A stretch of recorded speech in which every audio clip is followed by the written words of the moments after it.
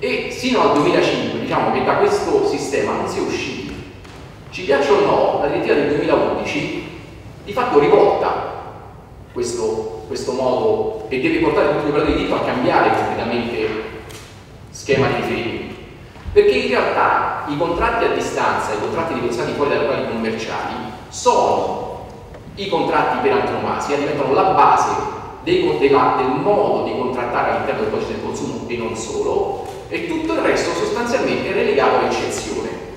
Non lo dico io ovviamente, lo, dice, lo diceva la direttiva del 2011, lo dice poi il decreto legislativo di attuazione, tant'è che se andiamo a prendere le prime norme proprio del codice del consumo, io farò riferimento alla mia reazione molto al, al, al, dato normativo, perché poi uno parlando rischia di perdere il contatto con quelle che sono invece le, le, le regole. Se noi appunto vediamo come è stato attuato all'interno del codice questa, tutta questa disciplina, l'articolo 46, ambito di applicazione, è centrale, cioè dice prima vengono i contratti a distanza, i contratti negoziati fuori dai locali commerciali, articolo 47, le esclusioni, tutto ciò che non viene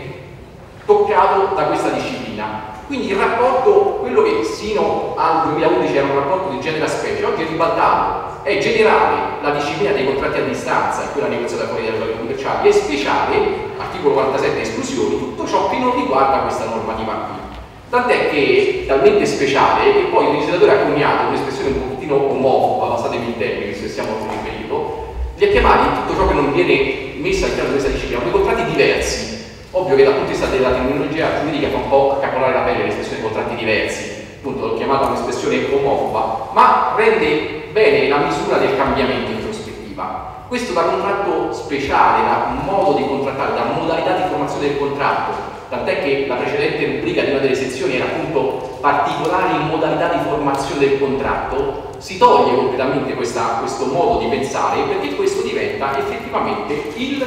i contratti.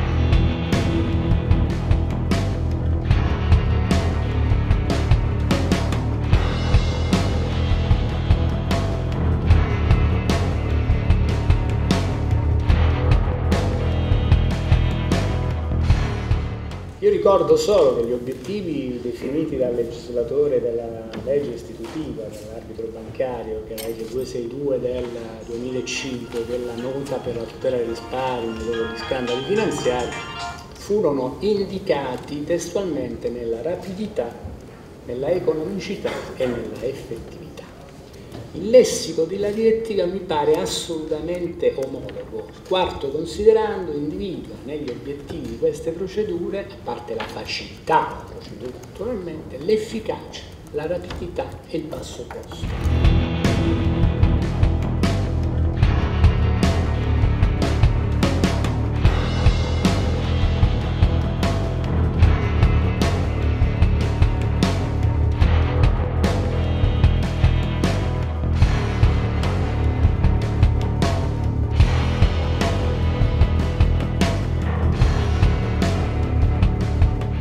passo posto. sistema di imprese nei diversi ambiti, nei diversi settori, produce ogni anno, investe in attività di analisi, di studio, di ricerca, la ricerca è fondamentale per innovare e per noi innovazione non deve essere solo innovazione di prodotto, di processo, di modalità di comunicazione nelle varie forme, probabilmente per noi innovazione deve essere anche modalità di relazione con chi fa educazione perché si creino veramente delle dei consumatori attivi che possono aiutarci a migliorarci. Quali sono, diciamo, eh, quando parliamo di educazione finanziaria intendiamo eh, tante cose, no? cioè l'educazione creditizia, l'educazione assicurativa, l'educazione alla finanza, l'educazione al risparmio. Eh, possiamo dire che eh, l'avvicinamento, cioè, sono cambiate le età, cioè l'avvicinamento al credito è in età diciamo ehm, si è molto abbassata l'età di avvicinamento al credito, cioè a 14 anni si dice, e si è anche alzata eh, perché sono previste anche delle forme di finanziamento per persone molto anziane,